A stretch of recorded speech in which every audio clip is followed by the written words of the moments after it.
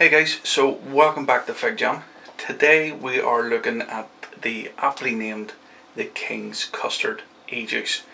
Um, let's take a look at it and see if it's fit for royalty.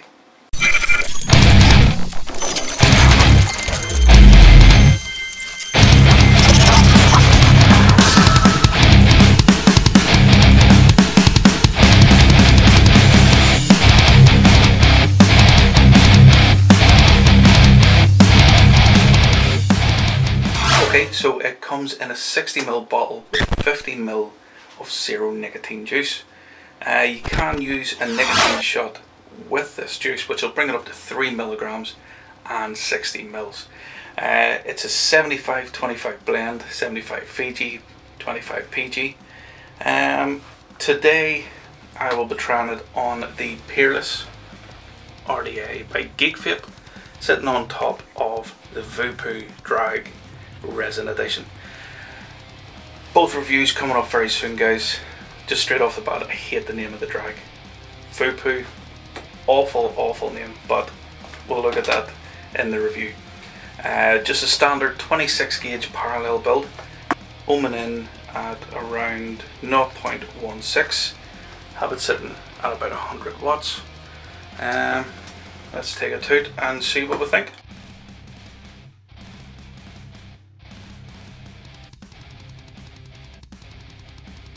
Okay, so just straight away on the inhale, you're getting that real sweet vanilla custard. Uh, personally, I'm not a big fan of the custardy, cakey type of juice. Um, kind of sicken myself of it, but I really, really like this.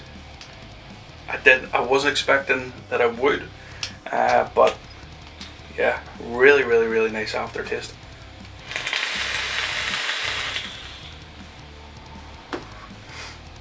That is unreal.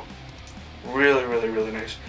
With that 75 VG, you are going to get quite a lot of cloud production on it. Um, not an overly big amount of throat hit. Um, quite pleasant to feel, very, very smooth. Um, just enough of a throat hit just to let you know that you are vaping.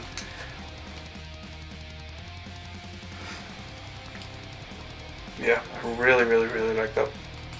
Nice and buttery, it's just missing some like apple pie. You know, it's strange to find a custard flavored e-liquid that isn't sickening, but at the same time, me personally, I think I would find this quite sickening. Now, if you're into your custardy, cakey type of flavors, I think you're gonna love this. I know you're gonna love this. Just give it another drip there.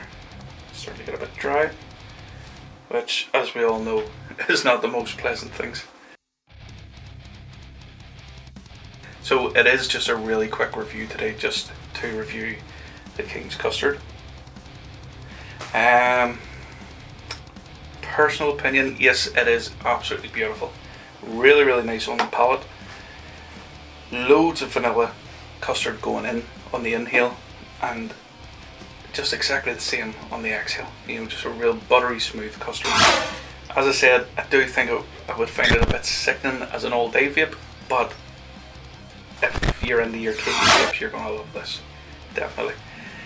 What I have found with the short fill bottles when you're adding the nicotine shot, sometimes it can dilute the flavour slightly.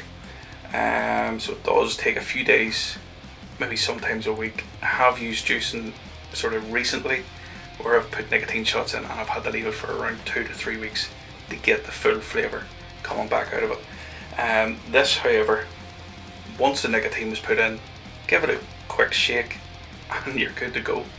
Just touching on the flavour strength, loads and loads of flavour. It just literally smacks you in the face with that real sweet vanilla custard. Um, price wise, the guys at the e-cig shop and I currently have this for £17. It is slightly more expensive than some of the other 50ml sort of short fill bottles, uh, but I think it's worth it. You know, it, it, it does taste like a real good premium juice and you can tell that the time and effort has went in just to perfect that recipe.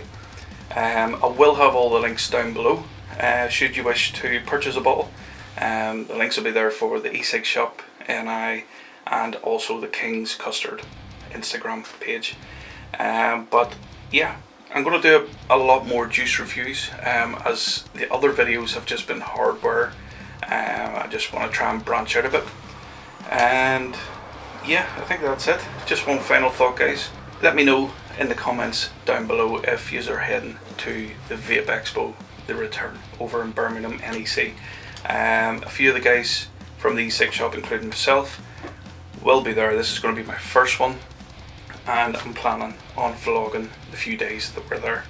So, really looking forward to that, and I hope the video does it justice.